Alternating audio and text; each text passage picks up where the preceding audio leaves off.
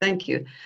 Okay, I'm quickly going to, I just wanted to introduce some of the research that we've done in the past. Um, I'm going to talk first about the, just give you a brief overview of the pre-COVID vulnerabilities of the waste reclaimers.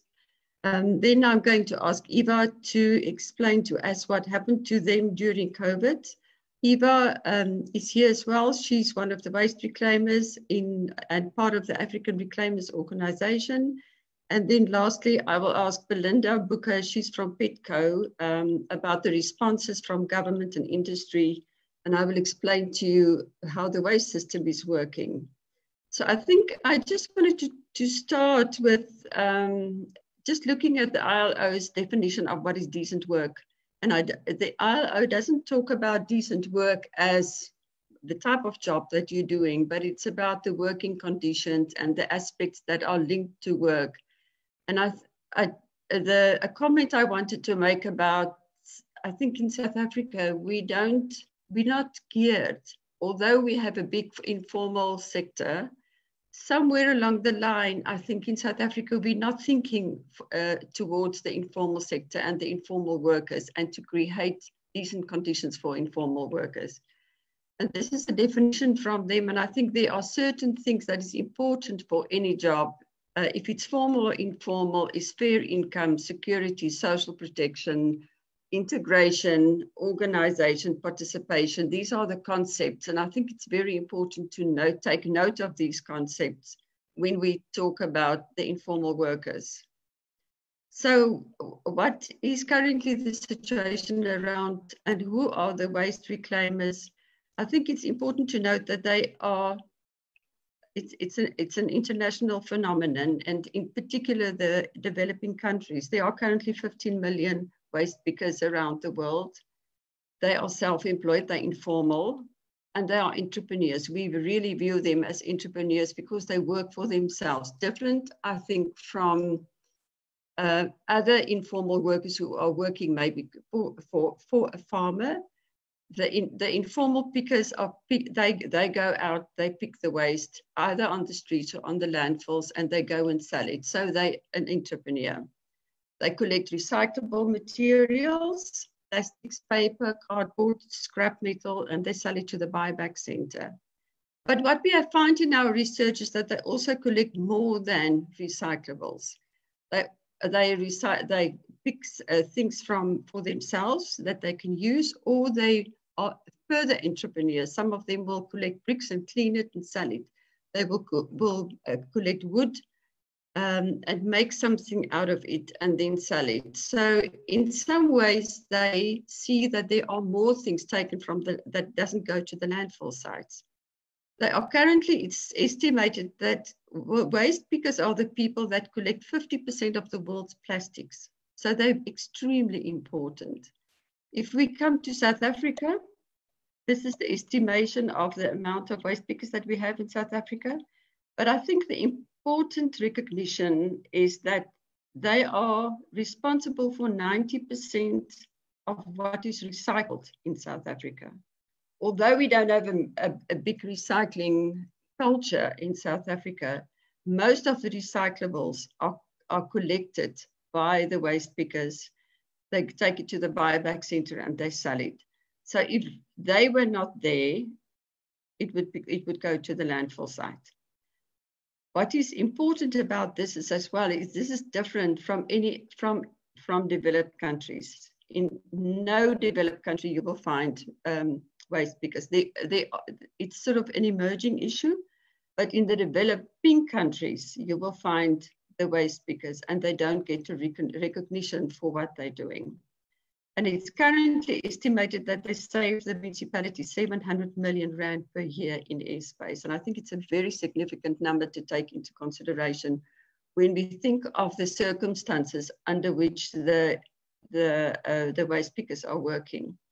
This picture is just to show you in terms of, this is the, the cycle that waste are collected from the houses, or maybe we should start at the generation, it's going to the shops. We buy the packaged material. the, the, it is normally, it goes into our bins. The, the municipality pick it up and they take it to the landfill site. So currently the position is that the waste pickers are taking it from our, our bins. They take it on their trolleys and they take it to the buyback center. That's the little picture at the bottom. This picture was developed by Dr. Melanie Samson from WITS, and we will speak later to this again. So they are actually an integral part of the waste system. And here is, I think. Uh, uh, Professor Linda Godfrey from um, the Waste RDI roadmap developed this. And this is also highlighting to us the, the very, very critical role of the waste picker in the value chain and in the service chain. They are the link between the service chain. The service chain is the, the municipality that are taking your waste to the landfill. And then the waste picker are the main person who takes your waste out of the service chain to the value chain. They sell what they collect to the buyback center. And the buyback center then it goes via the buyback center into the value chain. So this is so these the waste picker is not separate from a formal system. They move outside the formal system, but they link to a formal system. And we will also refer to that a bit later. Just in terms of some of our research that we have found to come back to women in Women's Month, this is what we have found in different studies that we have done, is that the, in two, 2012, we did a study on street waste pickers, and we found that 90% were male and 4% were female, and there's a specific reason for that. And then on the landfill sites, we find much more of an equal number, 52%, 48%. And it was interesting, in two separate studies, we found exactly the same number. And two years ago, we did a study in Bellville, and we had these other numbers in terms of in the 60s and in the 30s, 36% were women. I think the main reason for that is safety. It's difficult for women to push a trolley. It's difficult for women to be alone on the street. And um, it's easier, maybe in some regards, to be on a landfill site where you're part of a group of people where you uh, don't have to push a trolley. And I think this is why women probably, and Eva can speak to that, is maybe on the landfills. I think in certain cities, things are changing a bit. These are just some pictures on um, on the waste pickers that we've taken. And I think I want to talk to that because it will explain some of the vulnerabilities they have. The first picture at the top was on a landfill site. I think what is very difficult about that, you can see that there's no shade. It was an extremely hot day. It was in the 30s. And there was no shade for the people to sit under, although they are busy taking the waste from the landfill sites. So the municipalities are not really acknowledging them as valuable in terms of what the service they offer to the municipality. The second picture was taken in Bellville, where we could see that the female and the male were working together. And that I often find females will do will be on the street if there's also male partners that are doing that with them.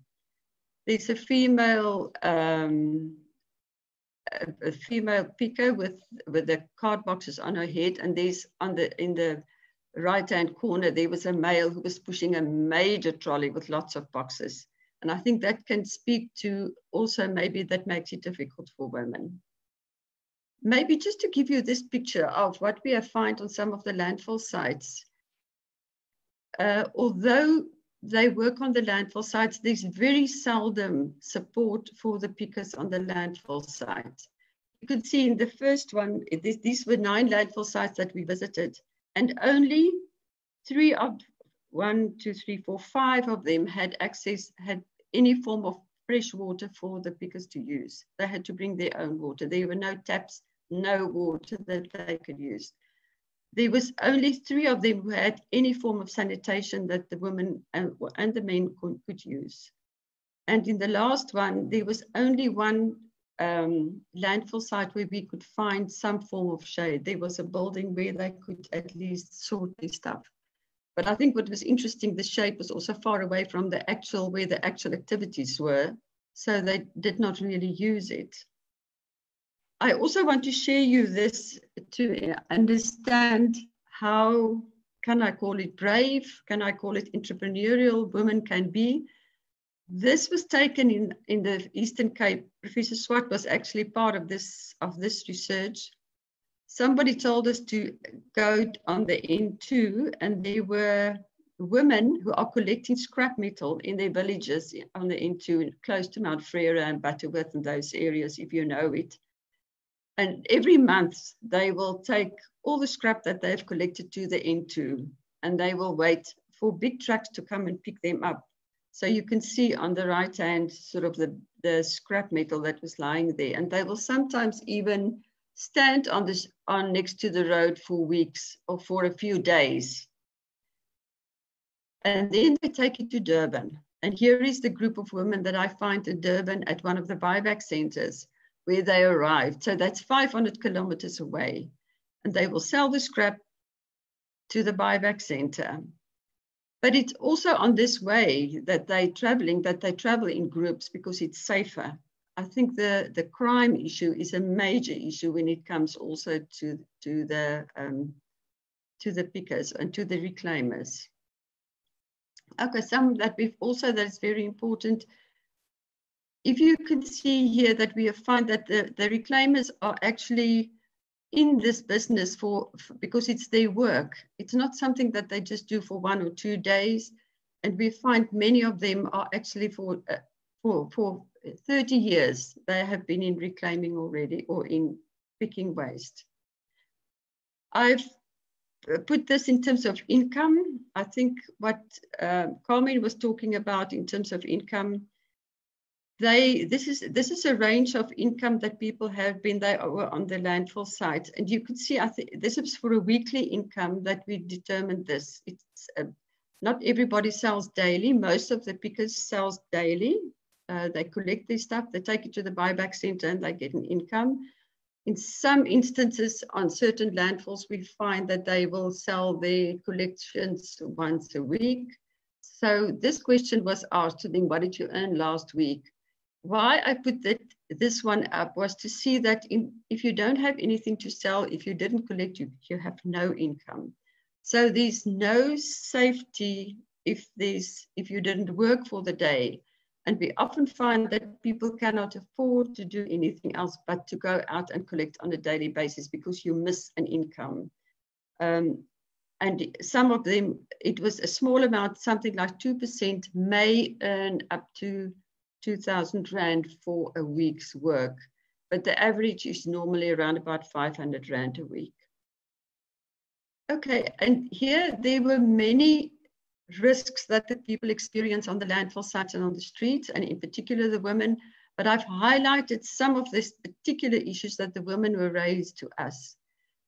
One of the issues was the dominance of the males over the females they would particularly say that, that they are not supported by the males or they will take the stuff that they've collected. Uh, they will steal it or the young people will come and steal the women's collections, what they have done, crime, the young boys steal our cell phones, we get robbed and raped was some of the issues that they shared with us. The scholars are dangerous, safety is a problem, crime is too much.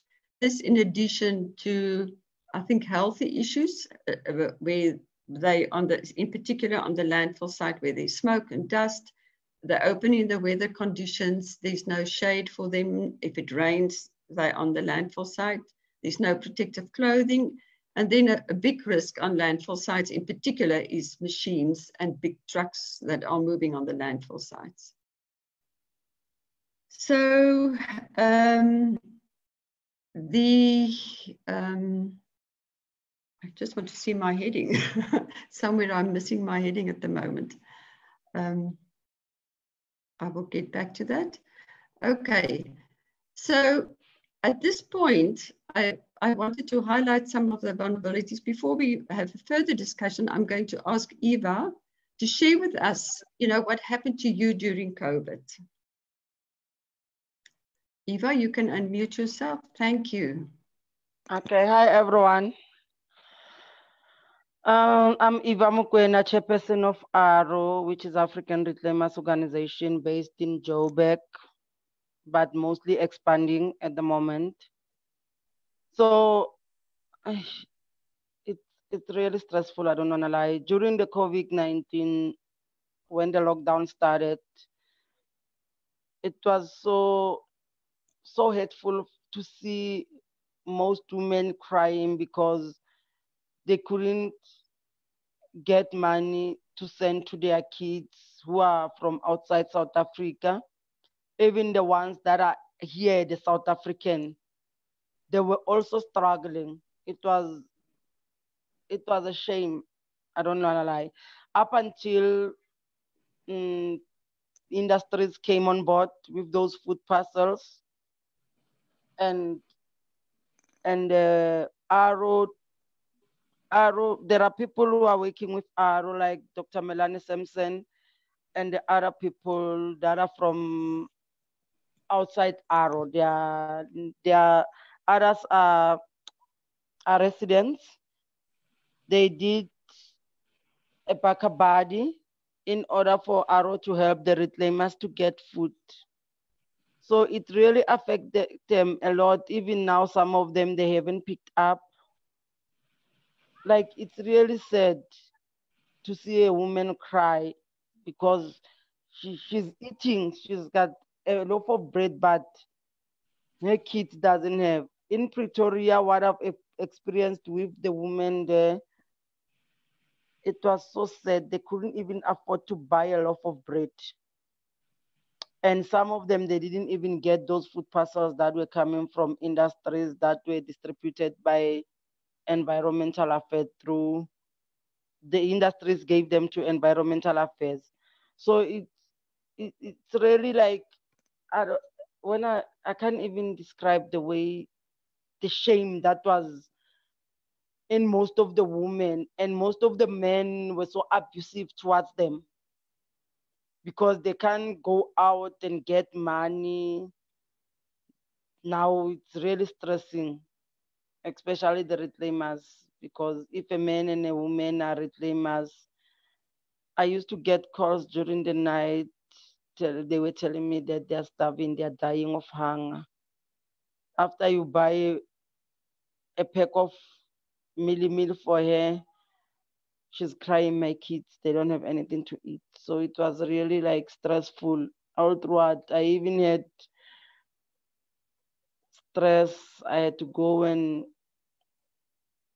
see a doctor consultation because my stress levels were so high. I couldn't even think properly because of the situation that I was encountering for each and every day.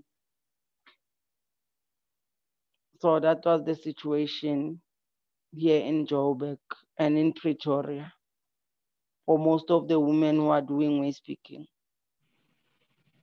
Thank you. Thank you very much, Eva.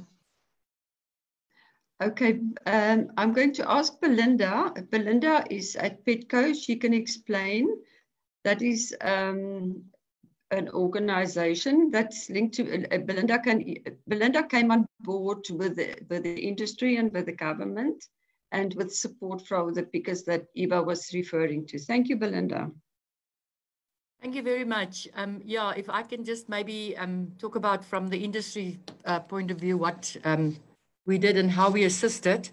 So um, when COVID hit, we obviously all the recycling plants closed, all the buyback centers closed, and we realized um, and they were not allowed to collect in any case for the first two months, I think. So as an industry, we then decided that we will collect money um, that we can then at least give food vouchers. And we thought we'll do it in phases right through COVID, right through the lockdown, until people can collect, or even now, after, after they are collecting, we are still doing some initiatives. So the South African packaging sector, which consists of all your packaging, your paper, cans, glass, plastics, Petco, all of them, we raised 785,000 Rand. And with that, we could, could assist 3,925 informal reclaimers with food vouchers to the value of 200 Rand. It was, it's not a lot, but we thought at least it can help so many people to have a basic income or a basic voucher.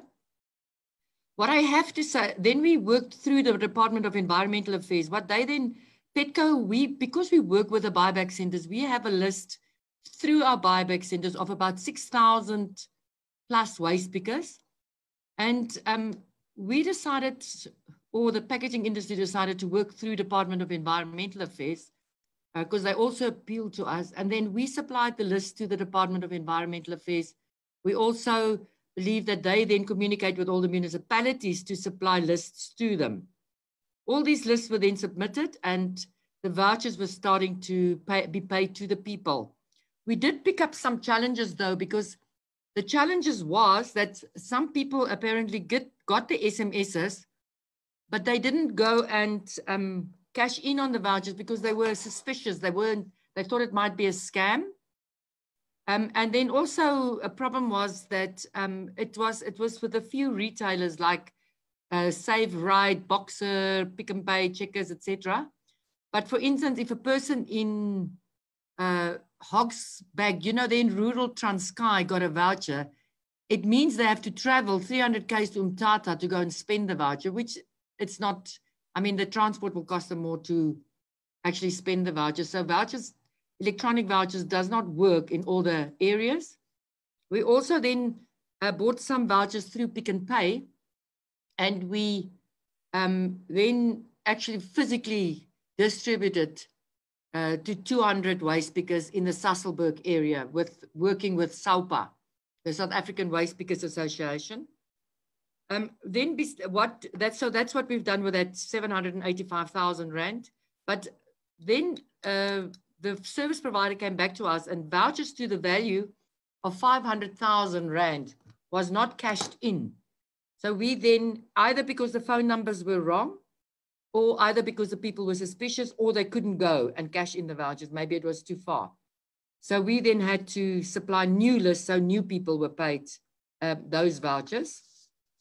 What we've done then as well, um, besides uh, our Petco recyclers, we've got Daran Far Senlida and um, Extrupet, our PT uh, recyclers, they contributed cash of 550,000 Rand in round one. And besides that, they've also donate, donated together 7,000 masks and 50 liters of sanitizers, which we then distributed uh, to the waste pickers. Um, we are currently working with Extrupet. Extrupet and Petco are going to support 400 waste pickers with blankets um, that's made from recycled PET, and then also another 76,000 Rand worth of uh, food vouchers that, will, that was collected by the three recyclers. Um, what we've done as well, just before the lockdown, we supported ARO uh, for their separation at source project and safe collections with 400 bins and 50,000 recycling plastic bags that they can then use uh, to collect um, recyclables from the households. Unfortunately, then the project was stopped because they couldn't obviously collect, but they're now busy um, collecting again from the households. And you know, uh, like Rinie was saying, the small buyback centers, SMMEs and the waste, because they really struggled because of the lockdown, because they couldn't sell anything, they couldn't pick up. Um, also, our recyclers were closed. Our recyclers, before they closed, had quite a lot of stock on their in their plants. And then when they eventually opened, the buying was very, very slow because they then first had to process all the stock that they bought just before the lockdown. So even though they were open for a month, it still took a long time until the buying actually really kicked off. Uh, currently, it is it's, it's, it's almost back to normal now. But what Petco has done during the lockdown as well, we also look at supporting our small buyback centers and SMMEs. And we have then, you know, just to help them in their little businesses because they're not earning an income. Some of them don't have scales, etc. So we've supported 39 of them with collection equipment like your scales, with uh, trailers, trolleys, etc. 39 projects nationally that we've supported now during lockdown. Our one shareholder, um, Safripol, uh, donated between Petco and Safripol, we bought 4,500 face shields and 1,500 bulk bags, which are have been and are currently being uh, dis disbursed to small SMMEs and their waste because nationally it took a little bit long to disperse this because our transporter had to get a permit to travel across borders and it took longer than what he thought it would take him. Um, and then I'm also on the committee for the Institute of Waste Management and they have committed to donate 10,000 Rand for 50 for food vouchers for 50 waste pickers that we're going to um, assist on the Paris landfill site. Um, I am busy talking to Coca-Cola and um, I'm just waiting for the final commitment, but we are going to assist ARO, uh, further Petco with um, Coca-Cola. And then I'm also working with Coca-Cola and they're going to, uh, they're busy looking at perhaps supporting some of the buyback centers that's really struggling with a small stipend, you know, that just get their business back going again, give them a bit of a cash flow so they can actually start buying the material because that's also a problem. When they opened, they had no cash flow because they, and then they couldn't buy the material. So even when the waste pickers came to them, the buyback centers had no cash flow to buy. So we're looking at um, supporting them also then with some um, cash flow. And basically that's what we're busy with. We're continuously busy um, seeing how else can we support them. Uh, we do believe that um, we're working with municipalities nationally as well, uh, that they should uh, now start incorporating the waste picker guidelines into the municipalities, register the waste pickers in their municipalities. So in a crisis like this, we can actually contact them and we can assist them. The fact that the municipalities don't always know who is working in their uh, municipality means that those people cannot be assisted. And we really want to change that. And we're also speaking to municipalities to, to register them and then to incorporate them into their uh, formal um, waste management and recycling programs. And what we say to small municipalities and others that if the municipality, we believe the municipality should make land available for the waste pickers to store and sort their material.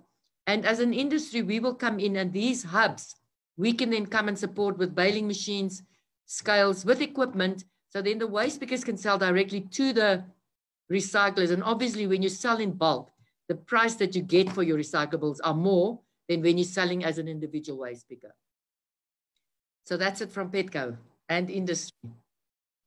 Thank you, Belinda. Can I just wanted to add to what Belinda is saying? I think the big thing that we've realized um, during this period is that uh, ARO started a few years ago. So there's there's an organization who can speak on behalf of the of the reclaimers.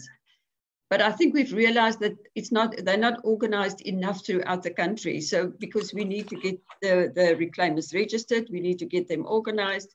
And I think that counts for most of the informal workers. Because when we started to look for telephone numbers, some of them are registered and some of them are somewhere registered with Petco or with a different organization, but there's not a national register. Yeah. And we don't have an idea. As I showed earlier, there's no specific idea how many people there are. So currently we are busy with that um, to see if we can start with the registration process. No. And if I can just come in here, Rinie, as well, that I I've, that I didn't mention, uh, Petco has just purchased uh, an ID card machine for ARO. Um, they they we actually paid for it already at the end of last month. So the service provider will contact them any day now. I'm actually going to follow up tomorrow, where they will then deliver the uh, identity card. So they will print their card with a with a photo, and then as ARO wants to give them a number or whatever, and we also providing so we're providing them with a printing machine plus um, a thousand blank cards for them to start, and then they can immediately register and identify a thousand of them. So, thank you very much. But I think that I think exactly that the critical part of being organized so that in future, if there's a crisis like this, that that that workers are organized to be able to be contacted to be supported if that is yeah. the situation yeah um, there is a belinda there is a question for you from uh, professor may okay um uh, is it, did national, provincial, or any local government assist in any way with the different initiatives that you have mentioned? They, they they didn't um, support financially. They basically coordinated. Um, I think they're a bit cash strapped. Okay. Thank you very much, Rinie, Eva, and Belinda for your um, input. And thank you, Carmen, again. Um, we have some questions. Um, let me put the first question to you, Carmen. Um, and it's from uh, Prof. May. one of the motivations for the alcohol ban was to reduce gender based violence. Do you think this worked? Um, also, can you expand on the point about increased uh, dependency on male income earners? What are the implications of that statement? Carmen?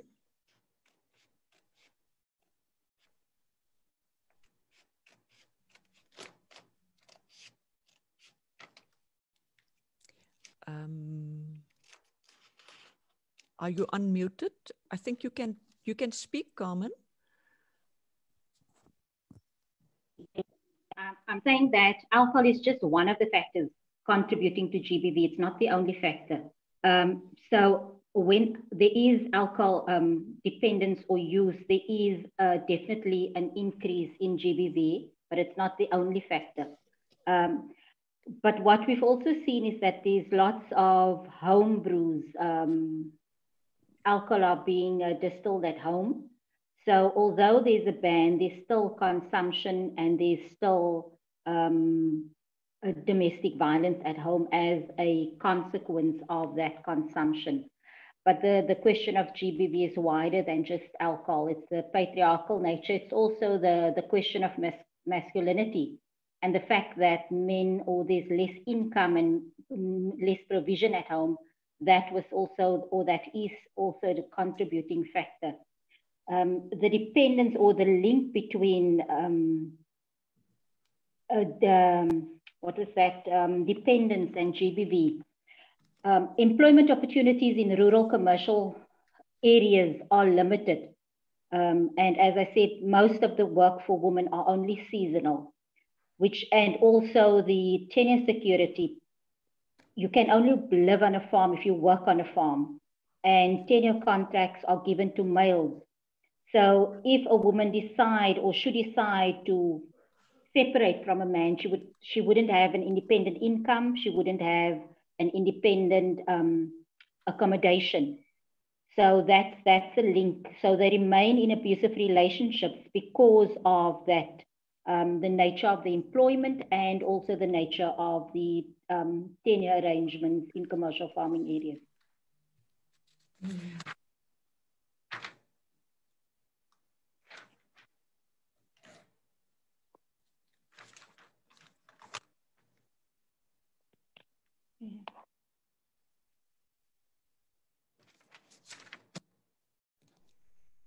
Yeah.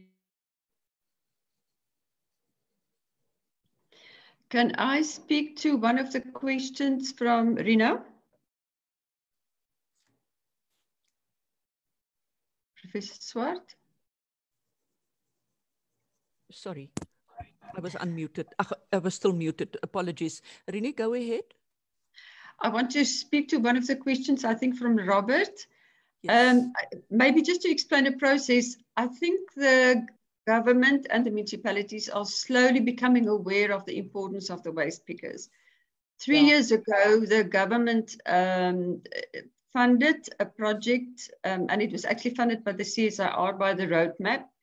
They, uh, Dr. Melanie Samson from WITS was the facilitator of this project of writing guidelines for the integration of the waste reclaimers. So that the guidelines are were developed with everybody that can more or less were interested were part of that process. The reclaimers were part of the process as well. And um, that guidelines was now, I think, signed something like in last week or the week before.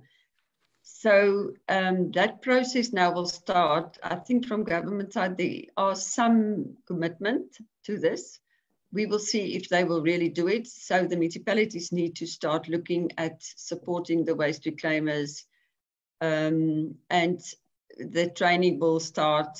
So that process is ongoing. We will see where it will go to. Uh, Carmen, do you want to uh, take the opportunity to speak to that same uh, question from Robert around the the other forms or legislation to formalize the situation of seasonal and informal workers? Well,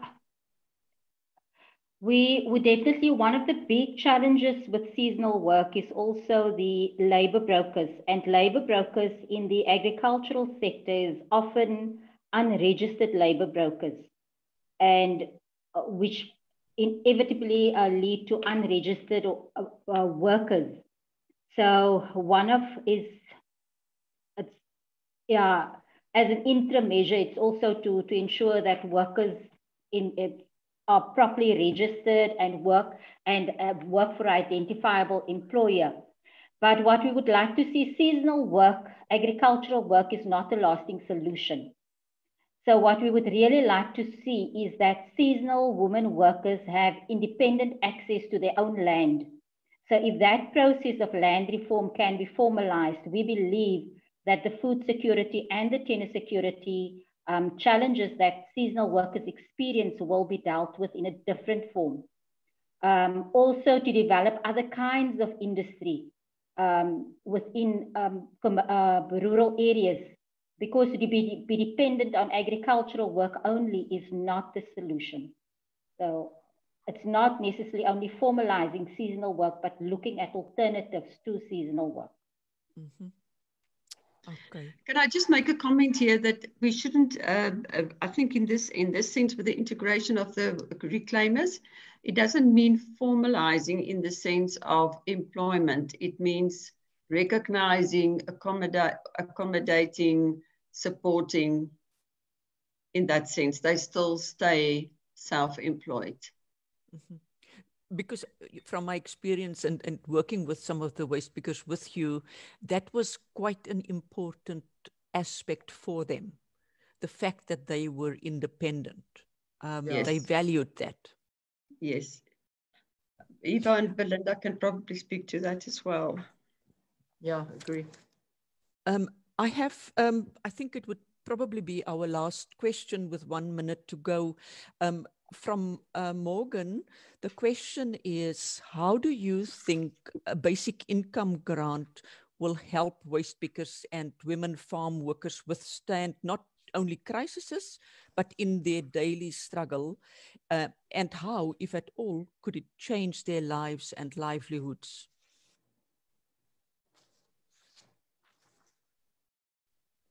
Rinie and Carmen, both of you are welcome to speak to that question? I personally um, is, a, is a great supporter of the basic income grant because I think it gives a bit of a safety net.